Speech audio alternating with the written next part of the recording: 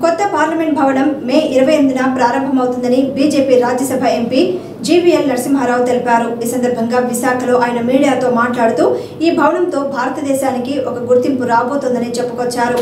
చారిత్రాత్మక సమయంలో ప్రతిపక్ష పార్టీలు బాయ్కాట్ చేయడం దురదృష్టకరమని అన్నారు. దుర్మార్గమని కూడా అన్నారు. ఆయా రాజకీయ పార్టీలు తప్పు తెలుసుకోకపోతే చరిత్రహీనులుగా మిగిలిపోతారని వ్యాఖ్యానించారు. ప్రధాని మోడీ తొమ్మిదేళ్ళు పూర్తి చేసుకోబోతున్న తరుణంలో ఈ నెల ముప్పైన దేశ ప్రజలతో మాట్లాడతారని వెల్లడించారు. పదకొండో స్థానం నుంచి ఆరవ అతిపెద్ద ఆర్థిక వ్యవస్థగా భారత్ ఎదిగిందని వివరించారు. త్వరలో మూడో అతిపెద్ద వ్యవస్థగా మారుతుందని జోసెఫ్ చెప్పారు. ఈ నెల ఇరవై ఎనిమిదవ తేదీ ఆదివారం ఈ దేశ చరిత్రలో ఒక మైలురాయిగా నిలిచిపోయేటువంటి రోజు. స్వాతంత్రం వచ్చి డెబ్భై ఐదు సంవత్సరాలు పూర్తి చేసుకున్న తరుణంలో ఏదైతే అమృత్ కాల్ రానున్న ఇరవై ఐదు సంవత్సరాల్లో భారతదేశం ఒక అమృత సమయంలో అమృత కాలంలో ప్రవేశించనుంది. ఒక అభివృద్ధి చెందిన దేశంగా భారతదేశాన్ని తీర్చిదిద్దాలనేటువంటి ఒక గొప్ప మహోద్దేశంతో ప్రధాని నరేంద్ర మోదీ గారు తొమ్మిది సంవత్సరాలుగా చేపట్టినటువంటి విప్లవాత్మక అభివృద్ధి కానివ్వండి ప్రపంచ స్థాయిలో భారతదేశ గౌరవ ప్రతిష్టలు పెరిగిన విధానం కానివ్వండి.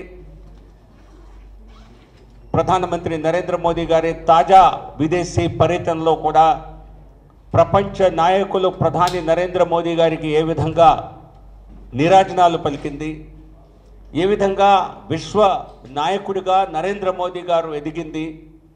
భారతదేశ గౌరవ ప్రతిష్టలు ఏ రకంగా పెరిగింది? ప్రధానమంత్రి నరేంద్ర మోదీ గారి విదేశీ పర్యటనలో చూసినటువంటి ప్రతి ఒక్కరు భారతీయులు చూశారు గర్వించారు.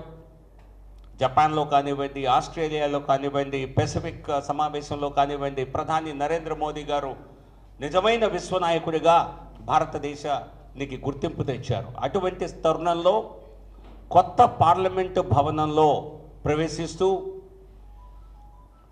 ప్రధాని మొన్న పార్లమెంట్ మొన్న గత సంవత్సరపు డెబ్భై ఐదవ స్వాతంత్ర దినోత్సవ వేడుకల్లో కూడా చెప్పడం జరిగింది. ఐదు ప్రతిజ్ఞలు చేద్దాం. వచ్చే ఇరవై ఐదు సంవత్సరాల్లో భారతదేశాన్ని తీర్చిదిద్దడం కోసం ఐదు ప్రతిజ్ఞలు చేద్దామని.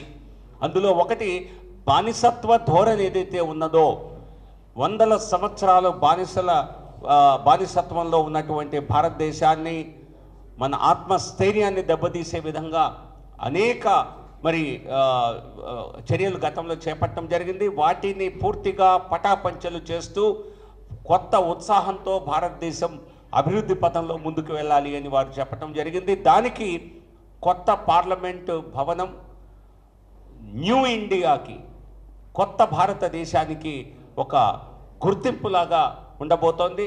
ప్రపంచంలో ఉన్నటువంటి భారతీయులందరూ భారతీయులందరూ ఈరోజు గర్వించదగినటువంటి అంశం. అటువంటి చారిత్రాత్మక సమయంలో మరి కొన్ని ప్రతిపక్ష పార్టీలు అనేక ప్రతిపక్ష పార్టీలు ఏదో ఒక కుంటి సాకులు చెప్పి పార్లమెంటు భవన ప్రారంభోత్సవ కార్యక్రమాన్ని మరి బాయ్కాట్ చేయాలని చెప్పి వారు నిర్ణయం తీసుకోవటం కేవలం దురదృష్టకరం కాదు దుర్మార్గం కూడా.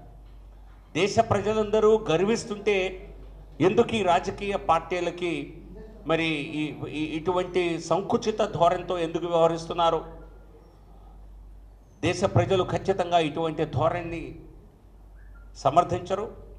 ఆ రాజకీయ పార్టీలు బుద్ధి తెచ్చుకొని తమ ధోరణిని మార్చుకొని ఈ కార్యక్రమానికి అందరూ సమిష్టిగా హాజరవ్వాలని లేకపోతే చరిత్రహీనులుగా ఈ పార్టీలన్నీ మిగిలిపోతాయని భారతీయ జనతా పార్టీ కార్యకర్తగా భారతీయ జనతా పార్టీ ఎంపీగా రా- దేశ ప్రజలందరికీ తెలియజేస్తున్నాం.